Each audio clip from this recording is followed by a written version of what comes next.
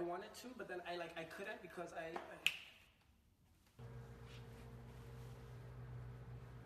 Are you tired of guys trying to play you? Welcome to the inside of a guy's mind, the nonverbal edition.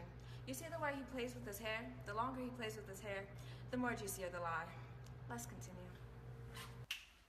Okay, so you know how I was, at, I was at the airport, and I only had one backpack. Because I only had one backpack, they thought that I was part of ISIS, and they said I was joining it. Yeah, and I oh didn't Oh know my what to do. Yeah, I'm, oh, oh, thank my you. God, okay. I'm so It was- sorry. It was so bad. Like I, I was, I, God. it was.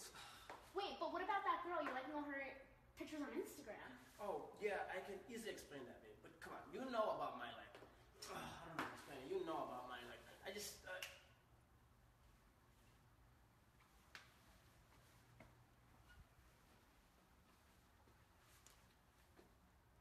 You see the way he rubs his hands together like there's lotion in his hands or he wants respect on his name?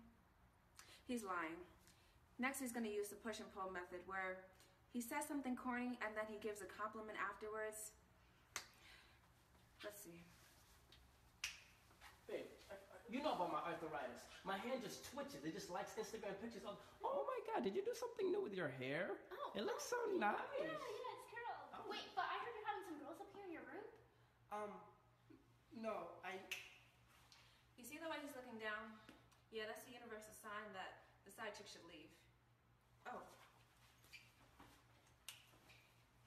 Babe, are you okay? You're acting crazy. Let's go get some ice cream.